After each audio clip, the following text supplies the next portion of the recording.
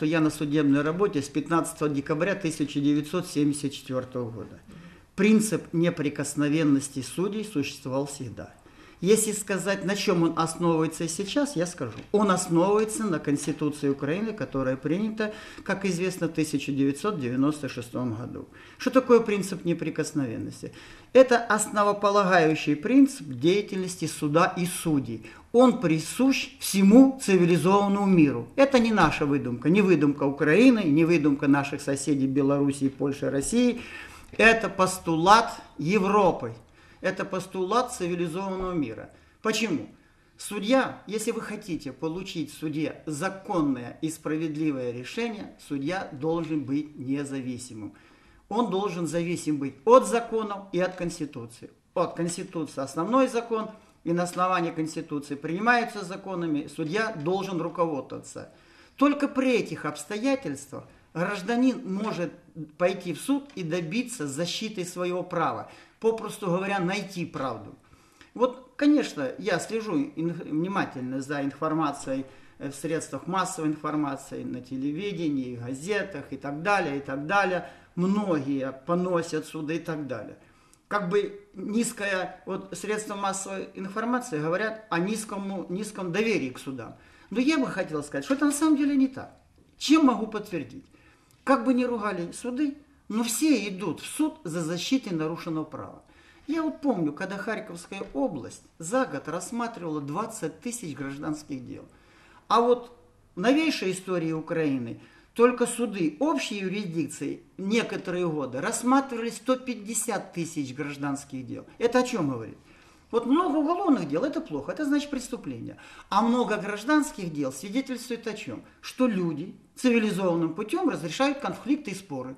Это свидетельствует об активности, чтобы пошел суд и защищает права.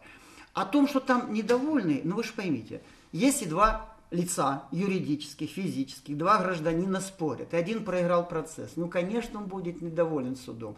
А второй, который получил защиту прав, а вы кого берете интервью? Как правило, того, кто проиграл процесс. Вот вы скажите, я вспоминаю, вот у нас с Киева телевидение приезжало вот, вот, годика три назад, один плюс один. Вот говорят, почему говорят, вот в судах коррупция, все продается. Я говорю, пойдемте суд спросим.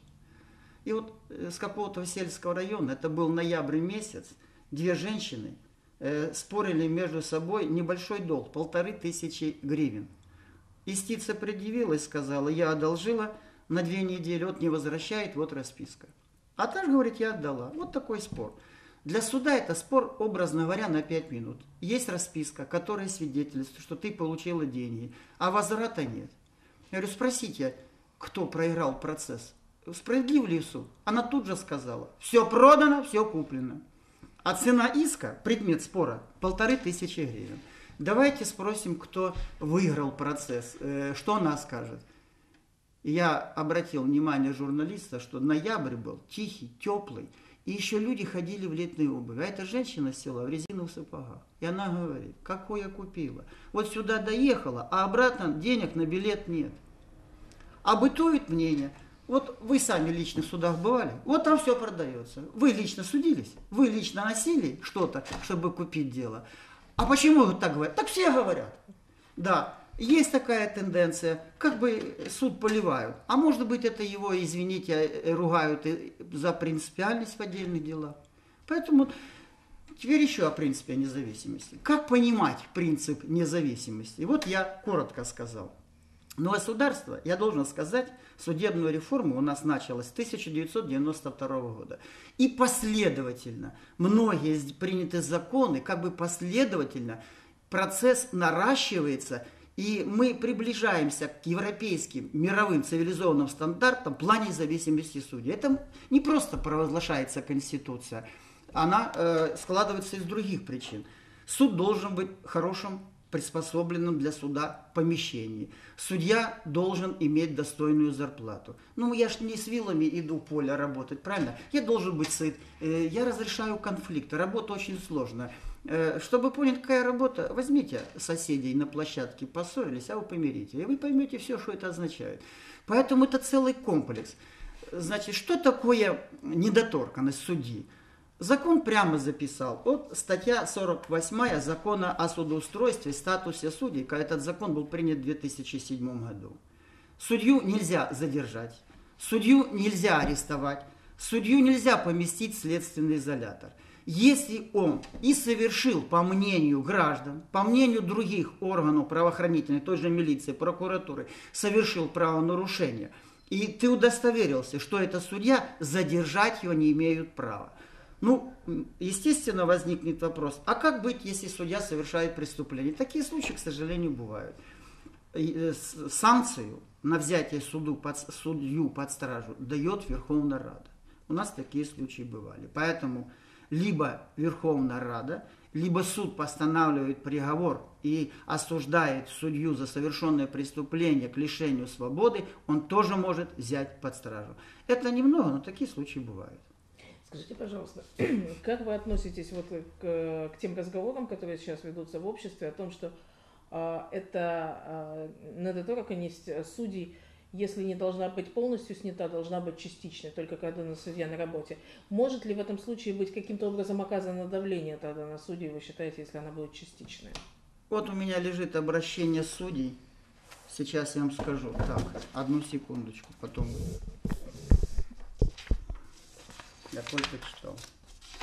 Вот каким путем происходит давление на судей? Вот, пожалуйста. Судьи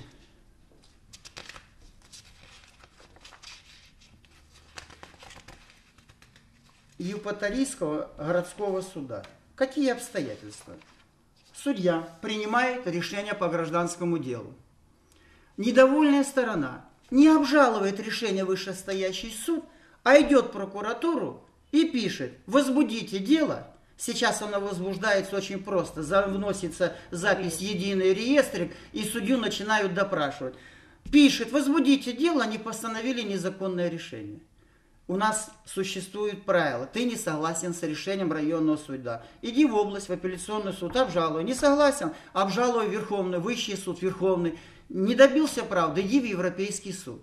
Он же не идет в вышестоящий суд, идет в прокуратуру и говорит, судьи постановили заведомо неправосудное решение. Возбудите дело и начинайте их таскать. Это что и сделала прокуратура города Евпатории. Написал гражданин, возбудите дело против судьи, и он начинает допрашивать судью, э, пиши объяснение, почему ты принял такое решение. А закон говорит, судья не обязан никому давать пояснения, Почему он принял решение? Это его внутреннее убеждение, основанное на изучении дела и знании закона. Поэтому а оказать давление на суд это очень просто. Поэтому законодатель и оберегает. А те, кто пишут снять недоторканность, либо не понимают, что они говорят, они же в первую очередь сами пострадают. Мы совсем недавно говорили о телефонном праве, теперь как бы этом не говорим. Я вообще должен сказать, вот сейчас, на сегодняшний день, при всех трудностях жизни, судье ничего не мешает быть независимым. Выполнять закон. У нас достойная зарплата, многие суды в хороших помещениях, да, у нас большие отпуска. Конечно, работа сложная, но у нас и большие отпуска, достойная зарплата. Я думаю, что никто из государственных служащих такую зарплату, как судьи, на сегодняшний день не получают. Это не просто, что это вот прихоть, это специально делается, чтобы суд был независимым и принимал справедливое и законное решение. Чтобы пошел гражданин и нашел защиту в суде, а не шел каким-то иным путем. Ну тогда такой, если позволите, последний да. вопрос. А, если речь идет уже о том, что все-таки судьи в большей или меньшей степени в нашей стране обеспечены, они имеют статус недоторканности, должен ли быть какой-то моральный облик у судьи, должен ли судья как-то ну, соответствовать ему, у чтобы нас, не происходило вот на съезде судей, На съезде судей был принят кодекс судейской этики. Да. Но я хочу сказать, вы, видимо, имеете в виду это судьей Киевского суда. За 39 лет работы это впервые такой случай, такой случай, что произошел конфликт между судьей и работниками милиции. Я не знаю этих обстоятельств. Я об этом деле знаю столько, сколько вы, со средств массовой информации. Да. Хотя, конечно, он со всех сторон неприятен. Ну, я вам еще раз хочу сказать, что вот за 39 лет работы на Харьковской области и вообще в Украине я никогда не слышал такой, о таком случае. Я думаю так, если работники милиции убедились, что это судья, они обязаны его были тут же отпустить. А все остальные, если даже он совершил какие-то действия, заявляйте прокуратуру, пусть проводят расследование, пусть привлекают. Я предполагаю, даже если в его действиях и были проступки. Но бросить на асфальт, а потом следственный изолятор, закон Ну да. это запрещает, понимаете?